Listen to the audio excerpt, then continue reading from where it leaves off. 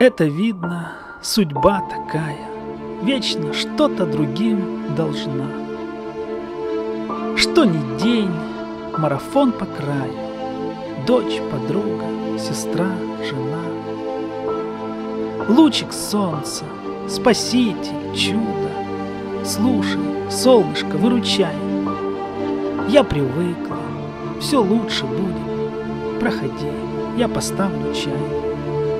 Я присяду на подлокотник, Буду слушать почти до трех. Что все принцы, а их же сотни, Выбирают себе дурех.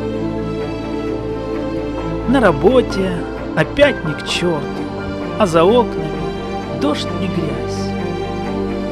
Чай в бокалы, шестой по счету, Подливая не торопясь. Осторожно давать подсказки, Где ошибка, где верный шаг. Что все принцы остались в сказке, Здесь же чаще Иван дурак. И ему-то подстать дуреха, А не девочка, солнце пай. И что если вдруг станет плохо, Выпей чаю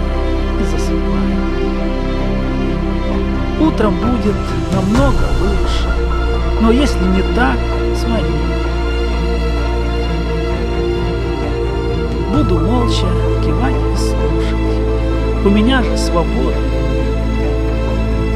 Я ведь этих проблем не знаю, что такое под дождь попасть. Я всего-то хожу по краю и мечтаю порой упасть.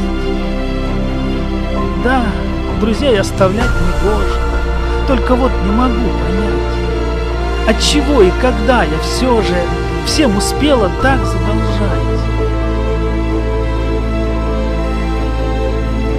И бинтуя свои запястья, зажимая хрусталь в персти,